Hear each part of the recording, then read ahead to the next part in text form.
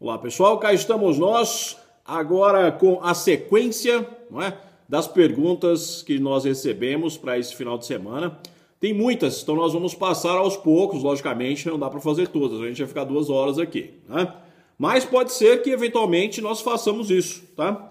É... Deixando da última, a última pergunta foi do Léo Sagato, e ele, seguinte, manda um oi para nós aqui na cidade, ele não disse qual é a cidade, mas é o seguinte, Leonardo Segato e Alexandre Moraes.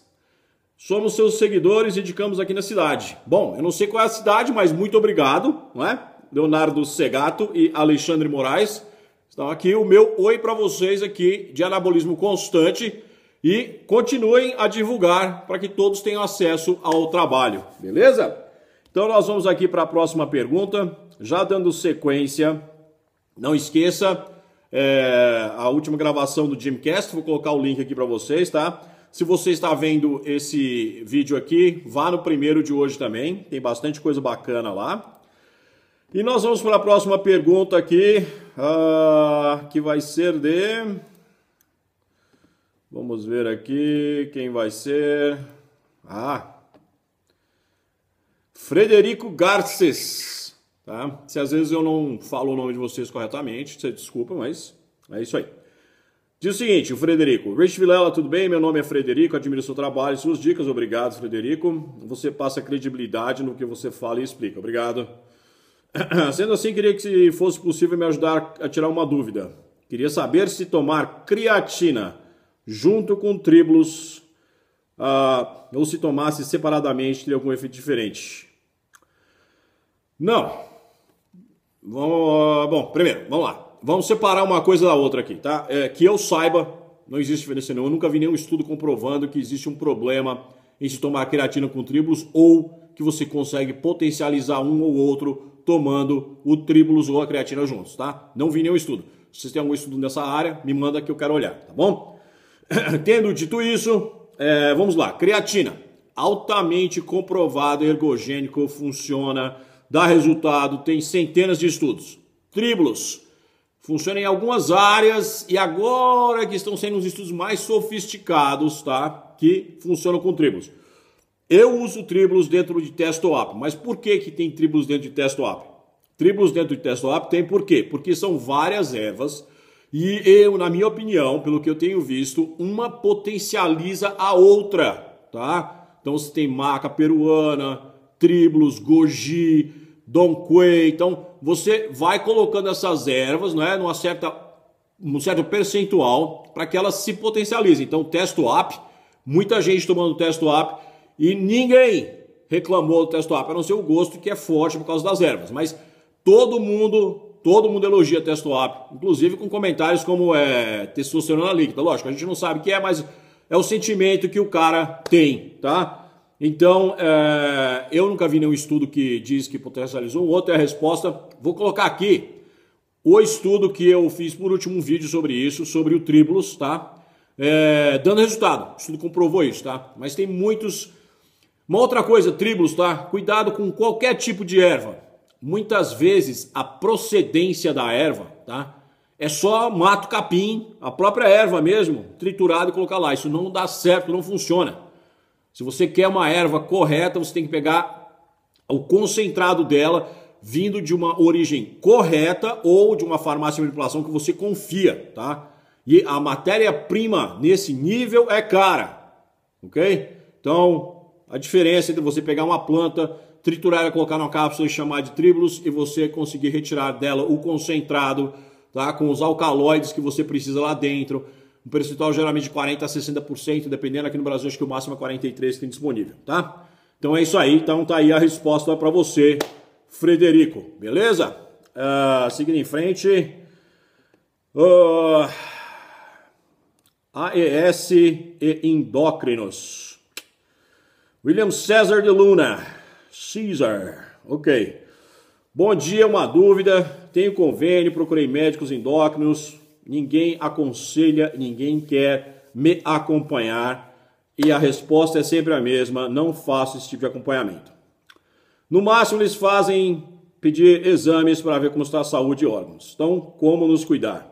Bom, é, não é, concordando com o funcionamento, mais concordando com o funcionamento dos médicos, tá? Existe uma pressão da Associação Médica Brasileira contra, em geral, todos né, os endócrinos, né, é, todo mundo, contra qualquer tipo de coisa com anabolizantes esteroides.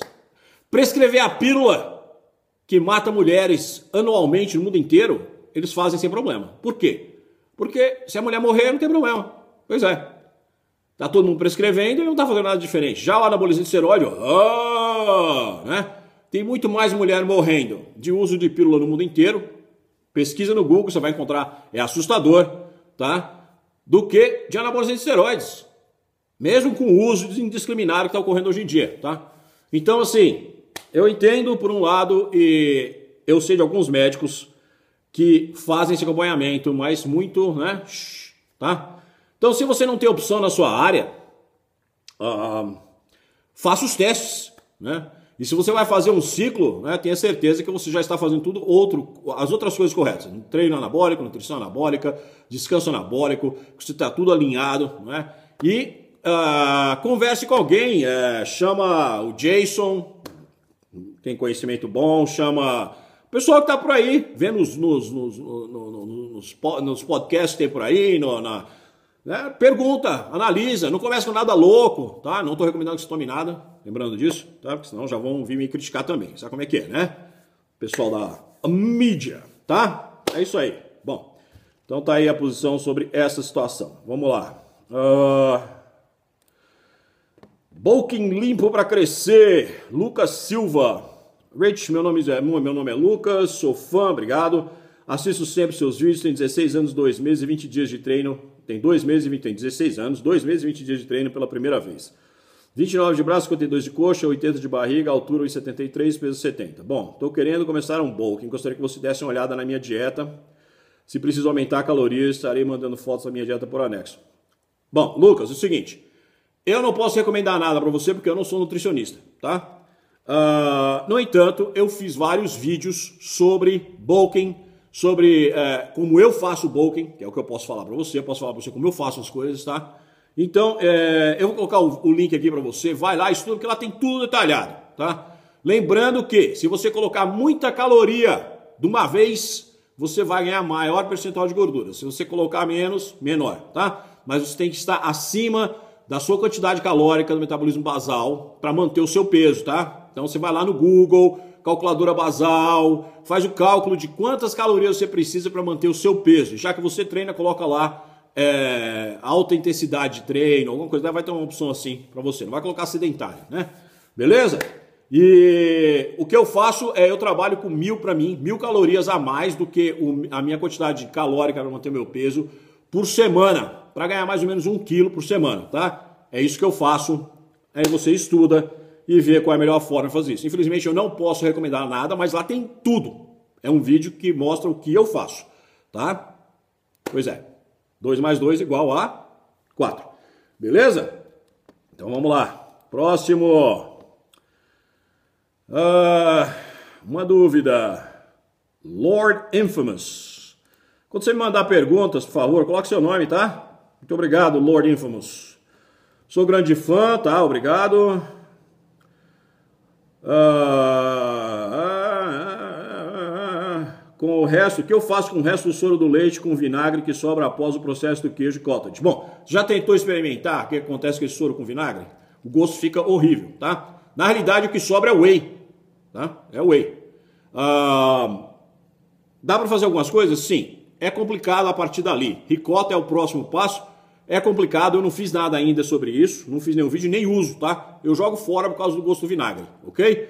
É a minha opinião pessoal. Se você pesquisar na internet, vai ter como fazer ricota. Se você conseguir fazer ricota daquele, uh, daquele whey que sair de lá, bacana. Se aí você conseguiu matar a situação total.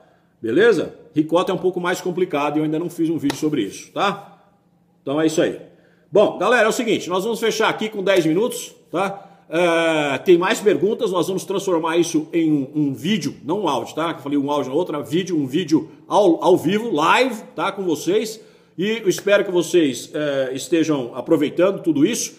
O Be Right Back, estamos aqui só para você, daqui a pouco a gente volta. Eu vou treinar, hoje tem dois treinos, hoje é, 10, é dia de 10 mil calorias, tá? E nós estamos aí, galera! Já tomei Super Fox, Super Fox, ligadão! O negócio é bom, o negócio é bom. Pra mim é bom. Você não precisa, pra mim é bom. we'll be right back, don't you go away. Peace!